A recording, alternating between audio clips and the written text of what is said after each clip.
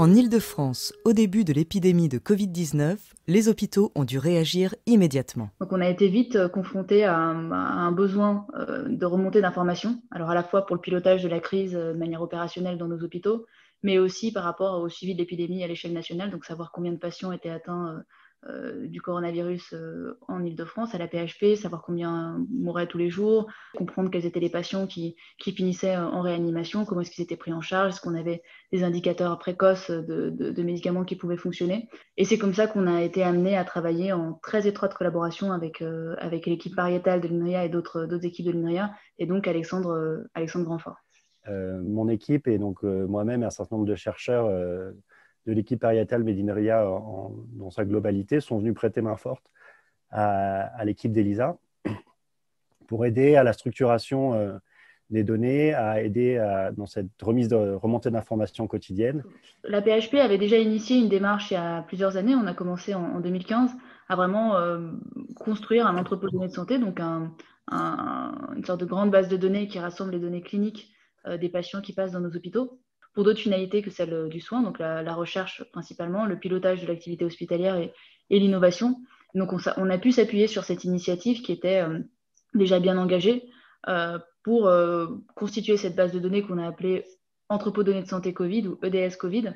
Là, l'EDS nous a donné une plateforme assez unique et euh, avec les outils qu'on avait l'habitude d'utiliser, euh, du Python, des logiciels open source, euh, des bases de données structurées sur lesquelles on a pu très rapidement être opérationnel sans être sur place, en travaillant dans un intervalle, enfin dans, dans, une interface de programmation dans un navigateur. La difficulté était de gérer de plus en plus de données avec de plus en plus de complexité et toujours dans l'urgence. En, termes quantitatifs, aujourd'hui, l'entrepôt de données de santé de la PHP, c'est euh, les données d'environ 13 millions de patients.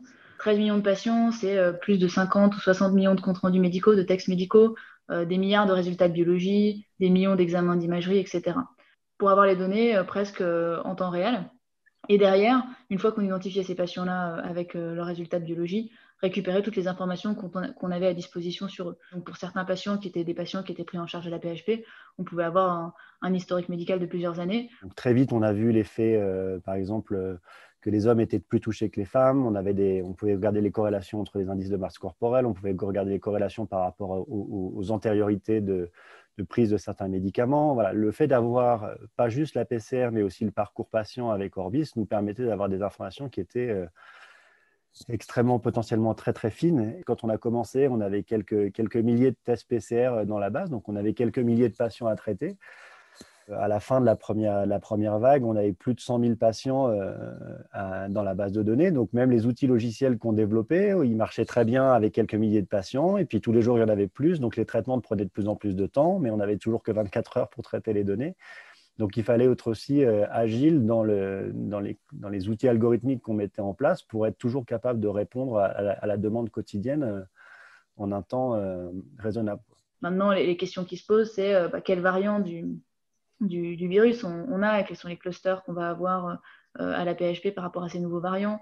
donc, ça, c'est toutes des questions qui arrivent et qui, et qui, sont à, prendre en compte J'imagine tout de suite qu'il va falloir rajouter une colonne dans la base de données qui dit quelle variant c'est. Et, là, j'imagine tout de suite tous les problèmes informatiques qui arrivent quand on change les schémas de données, ça casse les briques logicielles qui existent, il faut les réparer aussi vite qu'on les, qu'on les casse. Et donc ça, c'est vraiment euh, toute la difficulté. Et c'est pour ça qu'il faut être hyper agile sur les, sur les outils logiciels qui permettent de faire ça. Mais est-ce que ce n'est pas justement là que l'intelligence artificielle peut être utile?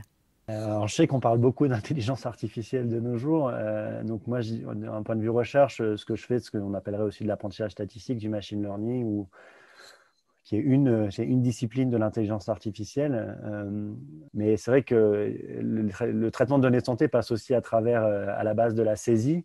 les saisies qui sont faites par des personnes différentes, avec des cultures différentes, avec des contraintes opérationnelles et des contraintes au quotidien qui sont importantes. Bah, qui fait que les données, elles sont collectées aussi, euh, je dirais, le mieux possible, mais c'est jamais parfait.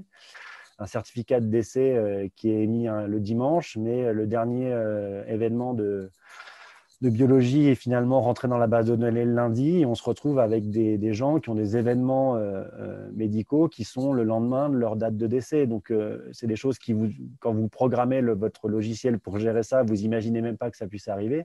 Sauf que la réalité des données fait que euh, ça se passe comme ça et il y a des bonnes raisons pour lesquelles ça se passe comme ça. Si vous avez un programme qui, qui considère qu'il ne peut pas avoir d'événement de biologie euh, après le décès, eh ben, le truc casse. quoi.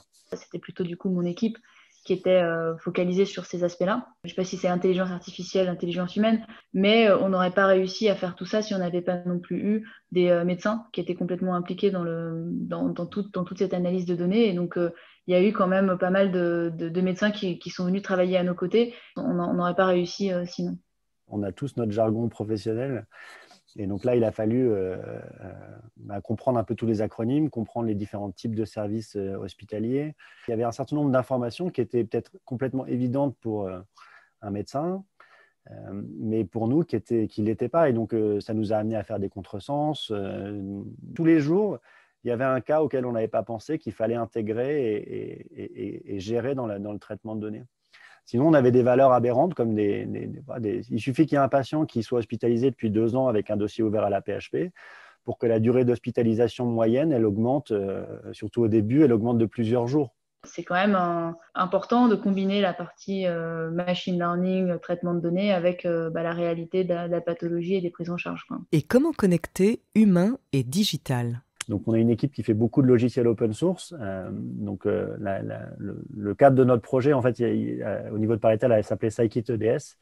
Scikit-Learn, c'est un projet logiciel qui fait du machine learning qui est développé historiquement au sein de l'équipe Parital pour travailler en commun. Quand on a 10 personnes qui travaillent 15 euh, heures par jour sur le même code sans être complètement en train de se parler en permanence, la probabilité que les gens cassent ou fassent ou tirent un peu la couverture dans un sens opposé des autres, bah, c'est mécanique que ça arrive. Et ben voilà, c'est cet, aspect-là qu'on a mis en place, histoire que bah, quand on corrigeait un problème, on n'en créait pas deux. Quoi. Une autre difficulté est qu'il s'agit de données sensibles.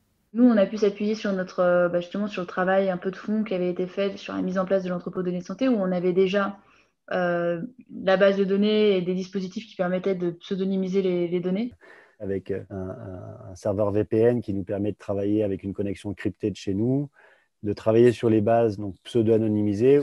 En tout cas, si on avait dû se déplacer physiquement sur place euh, à la DSI de la PHP pour travailler, je pense que ça aurait été très compliqué. Beaucoup de personnes ont été mobilisées. On est arrivé peut-être à 40, 40, 50 personnes euh, de la PHP qui travaillaient sur le, sur le sujet.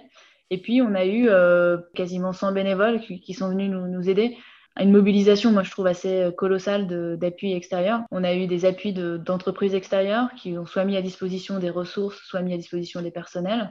C'était beaucoup, beaucoup de solidarité. Et moi, ce que je trouve, en tout cas à notre niveau, ce qui, ce qui a été euh, un, peu un, défi, ça a été d'être en capacité d'accueillir cette aide. Et c'était pas forcément évident. Au début, nous, on a un peu, j'irais, essuyé les plâtres de, ben, surtout, quoi. Et globalement, on a réussi à trouver un, dirais, le, le, point intermédiaire entre nos exigences pour euh, travailler le plus efficacement possible par rapport à nos outils à nous et ce qui était concrètement faisable avec les, les, ressources humaines. Et au-delà de cette épidémie, à quoi aura servi tout ce travail? Nous, pour nous, ça a été un énorme accélérateur, à la fois parce qu'il y a à peu près 60 projets de recherche euh, qui sont lancés euh, sur cette base-là et qui, du coup, des chercheurs qui voient un peu la, la manière d'aborder ces données de santé clinique qui leur permet derrière d'étudier, bah, tiens, moi je vais regarder finalement euh, qu'est-ce qui s'est passé avec le cancer euh, et euh, les gens atteints de Covid, et les usages, même les, outils qu'on a développés, et puis les collaborations qu'on est en capacité de mener maintenant. Un doctorant qui travaille sur un projet de recherche, c'est un projet de six mois à un an, donc on a des livrables vraiment à, long terme, c'est vraiment la temporalité de la recherche, et là on s'est retrouvé dans un, dans un contexte où, le, le livrable, c'était le lendemain. Donc, euh, pour nous, c'était une vie un peu différente, mais qui était, euh, qui était en même temps ultra stimulante. C'était sympa de se dire, euh, il, faut, il faut casser ce problème pour demain. Et puis, tous les jours, il y avait un nouveau problème. Et puis, on travaillait aussi entre copains, entre nous. Hein. donc, je dirais un peu en mode commando, tous ensemble, en se serrant les coudes. Et, c'était, pour moi, c'était une belle expérience au titre, à titre perso. Quoi. Je pense que c'était une période à la fois très intense mais aussi très gratifiante euh, parce que finalement tout le travail qu'on fait, on voit bien qu'il a une utilité euh, forte et que ça a, du sens pour, euh, bah, pour la prise en charge des patients. Quoi. On avait l'impression vraiment de servir à quelque chose.